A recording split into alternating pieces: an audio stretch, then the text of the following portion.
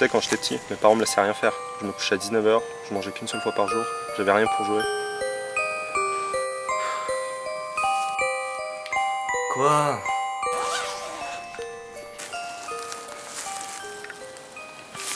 C'est pas grave, on va bien s'amuser.